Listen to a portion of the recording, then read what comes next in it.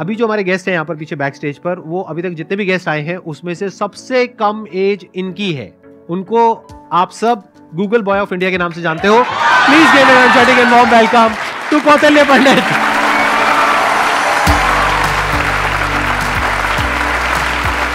अरे अरे प्लीज़ बैठो। आपकी एज कितनी है? पहले तो ये बता दो। तो अभी currently I am 14 fourteen years ji. आपको पता है यहाँ पर जितने भी लोग आए हैं उसमें सबसे कम एज आपकी है अभी। लेकिन सर मतलब जितने भी लोगों से अब तक मैं मिला हूँ आपकी एज के मतलब 40-50 साल के या थर्टी ईयर्स के आपके जितने भी शोज़ देखे हैं उनमें मेरे को तो सबसे कम उम्र के आप लगे हो। अरे! ये बताइए मेरे को कि आपकी ये शुरुआत कैसे हुई? जब मैं पाँच साल का था तो मुझे लिखना पढ़ना कुछ नहीं आता था। फिर ऐसे ही था कि मैंने दस पंद्रह दिन में ही मतलब लिखना पढ़ना like all the alphabets and everything I learn them तो उसके बाद गर्मियों की छुट्टियों की बात है तो आ, मेरे पापा जी एक स्कूल रन करते हैं छोटा सा गाँव में तो वहाँ पर मैं पढ़ता था। कहाँ के रहने वाले हो आप? मैं करनाल। अच्छा। जी तो वहाँ पर एक जैसे हॉलीडे होमवर्क देते सबको एक जनरल कि आपको जो वर्ल्ड मैप होता है एटलस होता है, अगर जिन जिन को अच्छा लगता है आप वो करके आना, आप मतलब उसे समझ के आना। तो फिर ये मेरे दादाजी ने कहा, फिर पापा जी ने कहा कि तो मैं भी कर सकता हूँ।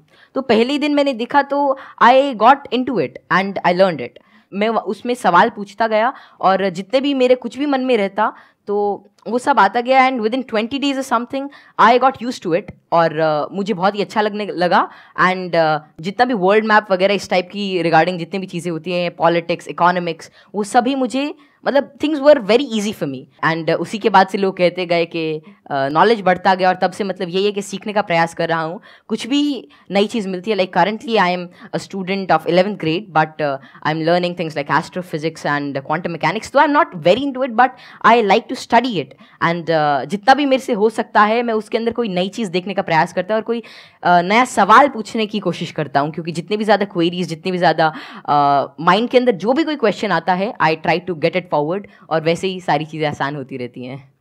I try to dwell myself deep into it क्योंकि कोई भी फ़ील्ड इस टाइप का I I think that they need one thing that is really important for them that is questioning क्योंकि जितने ज़्यादा आप अलग टाइप के क्वेश्चन पूछते हो उतना ज़्यादा आप उस चीज़ को अच्छी तरीके से समझ सकते हो तो वही है कि मैं अभी भी क्वेश्चन नए ढूंढ रहा हूँ जवाब उनके मिल ही जाएँगे बस ये है कि जितने ज़्यादा और नए और अच्छे क्वेश्चन मेरे पास आते गए और आते हैं उनसे मैं आगे बढ़ने का कोशिश कर रहा हूँ क्वांटम फिजिक्स में वेव पार्टिकल थ्योरी है। जी सर तो उसको आपने स्टडी किया होगा। हाँ जैसे कि wave particle theory dual nature of light and matter वो सब हाँ वो सब अभी धीरे धीरे मैं कर रहा हूँ और स्पेशली अभी तो मैं एस्ट्रोफिजिक्स जो है वो ज़्यादा पढ़ रहा हूँ।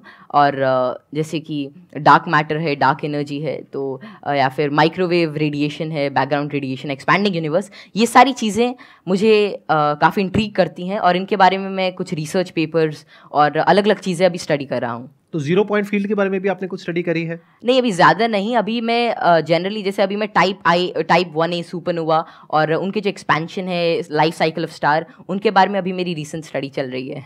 मैंने आपकी यूट्यूब पर एक वीडियो देखी थी जिसमें एक न्यूज़ एंकर आपसे कुछ पूछ रही थी और आप एक एक करके सारे सवालों के जवाब दे रहे थे। तो क्या अभी भी आप उस तरह से सवालों के जवाब दे सकते हैं? कोई भी आपसे कोई भी कैसा भी हाँ, सवाल सर। पूछेगा तो आप जवाब दे सकते हैं। क्योंकि ऐसा है कि नॉलेज तो एंडलेस है और सब सब कुछ तो कोई जान ही नहीं सकता। लेकिन ये है कि जितना ज़्यादा आप मतलब अपने सराउंडिंग्स को ऑब्ज़र्व करते हैं तो उतना ज़्यादा क्या है जितना ज़्यादा आप नॉलेज ग्रहण करते रहते हैं उतना आपका माइंड एक तरह की मैग्नेट की तरह बन जाता है। और उसके बाद कोई भी इंफॉर्मेशन कोई भी चीज़ वो आपको आती रहती है। और ऐसा है कि बहुत सारी चीज़ें मेरे को नई भी पता होती और मैं उनको सीखता हूँ। अगर मानो कोई नई चीज़ मेरे को आज पता चलती है तो मैं उसे सीखूँगा और that would be like great for me तो कोई भी चीज़ I always like to entertain and get new answers and new question क्योंकि उसी से ही एक नया फ़ील्ड एक नया पर्सपेक्टिव मेरे लिए ओपन हो जाता है। एक्सेलेंट जी तो अब एक काम करते हैं। आप में से किसी के भी माइंड में कोई भी क्वेश्चन है, किसी भी तरह का तो वो आप इनसे पूछिए। मैं ये जानना चाहता हूँ कि क्या हम यूनिवर्स को जान सकते हैं कि वो कितना बड़ा है या हम अभी तक जान पाए हैं? जी क्या तो- क्या पैरामीटर्स हो सकते हैं उसको नापने के लिए? जैसे कि हमने सुना है कि लाइट ईयर्स होते हैं। जी जी। पर वो कितना बड़ा है क्या हम इमेजिन कर सकते हैं या हम एक्चुअली में उसे प्रैक्टिकली पता कर सकते हैं क्या? तो जो यूनिवर्स की जो एक्सपैंडिंग यूनिवर्स थ्योरी थी वो एडविन हबल ने दी थी और उनके अकॉर्डिंग जो अभी यूनिवर्स की जो एज है, वो near about thirteen point nine billion years है और उसी रेट से अभी एक्सपैंड कर रहा है। तो यूनिवर्स जो अभी हमारी थियोरी है यूनिवर्स के जो मोस्टली एक्सेप्टेड है that is of expanding universe अभी के हिसाब से खबल कांस्टेंट होता है दैट इज़ 65 मेगा पासिक तो जो डिस्टेंस ऑफ़ यूनिवर्स है that is H times D तो वही 13.9 बिलियन टाइम्स लाइट ईयर तो इतना भी हमारा एक एस्टिमेशन है कि इतना यूनिवर्स हो सकता है। जैसे आपने इतनी सारी नॉलेज गेन कर रखी क्या आप भूलते नहीं है चीज़ों को? या भूलते हैं, कब रिवाइज करते हैं? हम पढ़ते हैं तो हमें रिवाइज करना पड़ता है। अगले हफ़्ते भूल जाते हैं। आपके के बाद भूल जाते हैं। एक्चुअली ऐसे ही होता है है ना? यस सर अगर आप किसी चीज़ को अच्छी तरीके से देख लेते हैं उसे समझ जाते हैं तो उसकी एक आउटलाइन आपके दिमाग में रहती है और फिर आपको उसे ज़्यादा रिवाइज करने की ज़रूरत नहीं रहती। तो वही है कि किसी भी चीज़ का कॉन्सेप्ट रहता है। तो अगर आपको वो समझ में आ गया तो information is just like I think that information is not the main part if you understand the thing properly फिर आपको वो सारी चीज़ें आसानी से याद रहती है। आपको कोई उसके लिए एक्स्ट्रा एफर्ट्स नहीं करने पड़ते। सर पूछ रहे थे बोल रहे थे ना कि मैं मैटर के बारे में स्टडी कर रहा हूँ तो मैं ये जानना चाह रहा था कि जो इलेक्ट्रॉन प्रोटोन है इनका मतलब सबसे पहले किसके किसने बताया था इनके बारे में? तो इलेक्ट्रॉन की जो डिस्कवरी थी तो यार नाइन्थ क्लास की एनसीईआरटी में मिल जाता है। तो जो इलेक्ट्रॉन की डिस्कवरी थी वो जे जे थॉम्सन ने करी थी और प्रोटॉन जो मिला था वो रदरफोर्ड के एक्सपेरिमेंट से हमने डिड्यूस किया था। और चैडविक ने मतलब जेम्स चैडविक ने जो बेरिलियम की मतलब जो रेडियो एक्टिव सोर्स से डीके को स्टडी किया था उससे न्यूट्रॉन के बारे में पता चला था। ये तो बहुत बेसिक क्वेश्चन है भैया कुछ अच्छा पूछो। अच्छे क्वेश्चन पूछो। क्या पूछ रहे हो आप लोग यार? टोटलिया मुझे आपसे एक क्वेश्चन है कि आप जितने सेलिब्रिटी से मिलते हो तो आप इतने जो मिलने से पहले जो बात करने का जो एक होता है नर्वसनेस इसको कैसे दूर करें? आप जैसे संदीप सर से बात कर रहे हो और बड़े बड़े आप सेलिब्रिटी से मिले हो तो आप किस तरह से इतना एक्सपीरियंसली आप बात कर लेते हो किसी से? देखिए, जैसे आज मैं यही सोच के आया था कि मैं संदीप सर से मिलूँगा और उनसे बहुत कुछ सीखने को मिलेगा। तो ऐसा तो है नहीं कि संदीप सर आएँगे और मेरे से पूछेंगे, चल, ये बताओ और फटाफट अगर कुछ गलत बताया जाए तो एक थप्पड़ मारेंगे। ऐसा तो होगा नहीं ना। मतलब प्यार से बात करेंगे और अपना आशीर्वाद देंगे, कुछ अच्छा नई चीज़ शेयर करेंगे। तो वही है कि आप मतलब एक फ्री एंड पे रहें और जहाँ पर भी आप मतलब अपने से आप सच जो है वो एक्सपेक्ट करें कि अगर मैं कहीं से सच बोल रहा हूँ तो थिंग्स वुड गेट ईजी और make it easy in your brain और हर जगह से अगर आप कुछ अच्छा सीख करने की कोशिश करते हो ट्रूथफुल रहते हैं तो आप में nervousness is just a state of mind और ये बस चला जाता है जस्ट मिराज तो बस संदीप सर हैं, आज है, आज इनसे बहुत कुछ सीखने को मिलेगा। आप सभी से आज कुछ बहुत कुछ सीखने को मिलेगा। तो आप ऐसा कुछ एक अपना परसेप्शन रखिए और फिर सारी चीज़ें आपके लिए आसान हो जाएँगी। मेरा ये क्वेश्चन है कि जैसे चंद्र ग्रहण लगता है, सूर्य ग्रहण लगता है तो उसका कैसे पता लगता है कि वो कब लगेगा और किस टाइम में लगेगा या कितना उसका कैसे पता लगता है? ये तो पता है कि वो क्यों लगता है। बट इसका कैसे पता लगता है कि अब लगेगा या कैसे? उसका क्या होता है तो खैर, ये जो टेक्नोलॉजी थी एस्टिमेट करने की कि कब सोलर एक्लिप्स लूनर एक्लिप्स या कोई भी सेलेस्टियल मूवमेंट होगी, ये तो आज से मतलब कई हज़ार साल पहले ही डेड्यूस हो चुकी थी। और इसका रीज़न यही है कि ऑब्जर्वेशन से हम एवरेज टाइम निकाल सकते हैं। एक पैरलैक्स एंगल आपने पढ़ा होगा कि उससे हम मतलब ये एवरेज स्पीड और एवरेज डिस्टेंस निकाल सकते हैं किसी भी चीज़ का। और उससे ही हम डिड्यूस कर सकते हैं कि कितना रेडियस है कि एक साल में इतना डिस्टेंस ट्रैवल करती है, फिर एपोजी पेरेजी फिर कैपलर्स लॉ लगा के सेमी मेजर एक्सेस वगैरह निकाल के तो उससे हम उसका डिस्टेंस यूज़ कर सकते हैं और फिर टाइम पीरियड से हम we can actually deduce it और एक नई चीज़ लूनर एक्लिप्स वगैरह के बारे में ये है कि जैसे जैसे आजकल क्या है, जो due to tidal forces moon हमसे हर साल तीन सेंटीमीटर दूर जा रहा है। तो बहुत हज़ारों सालों बाद ऐसा होगा कि सन तो उतना ही रहेगा, लेकिन चाँद जो छोटा हो जाएगा। तो उसके बाद मतलब एक्लिप्स जो होगी वो जिसे आजकल टोटल होती है, उतनी नहीं होगी।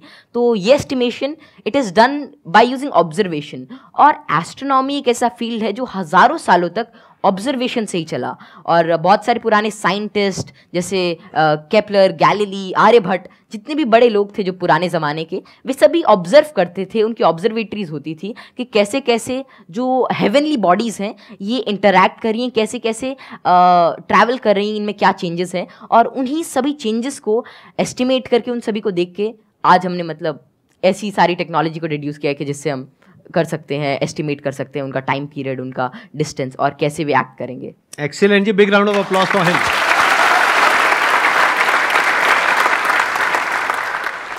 मैं ये पूछना चाहूँगा जैसे यहाँ पर बैकग्राउंड हमारा होता है तो लोग कहते हैं कि इंटेलिजेंस जेनेटिक होता है काफ़ी मतलब कि उसको बढ़ाने में बहुत ज़्यादा नहीं हम लोग कर सकते हैं। तो आपका इस पर क्या व्यू है कि इंटेलिजेंस जैसे आईक्यू टेस्ट भी आप बार बार दोगे तो आपका आईक्यू का स्कोर बढ़ने लगेगा उसमें। तो आपका इसमें क्या कमेंट रहेगा कि इंटेलिजेंस के लिए आप क्या व्यू रखते हैं? ये ना बहुत इंटरेस्टिंग क्वेश्चन है जी सर और मैं ये क्वेश्चन के आंसर से पहले एक बार अगर आपके पेरेंट्स आए हुए हैं आपके फादर हाँ, आए, हाँ, हैं, आए हुए हैं। मैं एक बार उनसे भी कुछ बात करना चाहूँगा। एक बार उनको माइक दीजिए। मैं आपसे ये जानना चाहूँगा कि आपके जो बेटे हैं ये तो सबको पता है कि किस तरीके से चीज़ों को याद रखते हैं किस तरह से एक्सप्रेस करते हैं क्या आप भी इसी तरीके से चीज़ों को याद रख पाते हैं? पहले तो बहुत बहुत धन्यवाद जो आपने माइक दिया और जो आपके आज दीदार हुए हम बहुत दिनों से।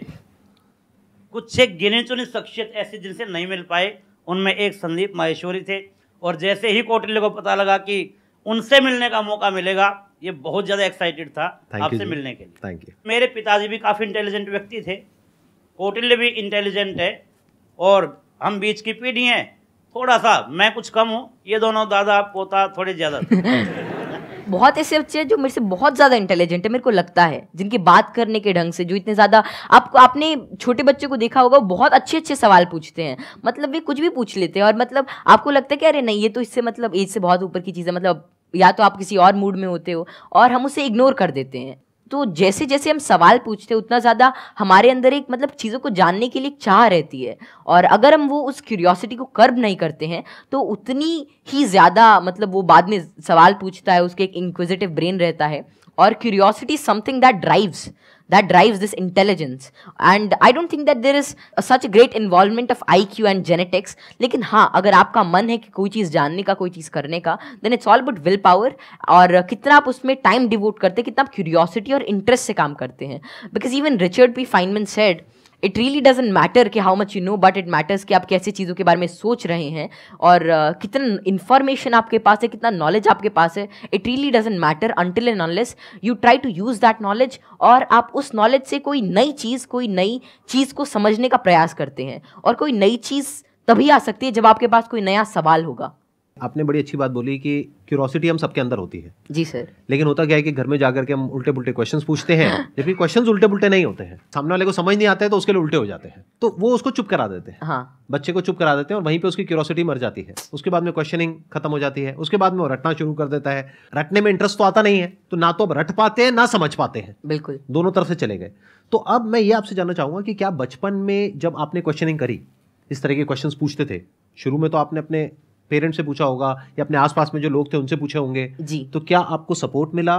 क्या उन्होंने आपको एनकरेज किया? या उन्होंने भी आपको यही कहा कि क्या फालतू के क्वेश्चंस पूछ रहा है? नहीं जैसे I think I was fortunate enough कि जितने भी मैं सवाल पूछता कोई ना कोई अ, मेरा जवाब दे ही देता था। और ये बात शुरू ऐसी होती थी कि मानो कोई घर पे कोई बात चल रही है किसी भी चीज़ को लेकर। मानो दे टॉकिंग अबाउट के एक इकोनॉमिक क्राइसिस है देश में। तो मैं उसके अंदर मैं सुनता रहता था, या कोई भी ऐसी चीज़ हो रही है, कोई स्पेस मिशन जा रहे मैं सुनता रहता था, मैं चीज़ों को ऑब्ज़र्व करता था। और वैसे ही मेरे जो भी सवाल आते I was fortunate enough to get their answers और मानो अगर मेरे को उसका जवाब नहीं भी मिलता तो मैं पूरे दिन उनसे पूछता रहता।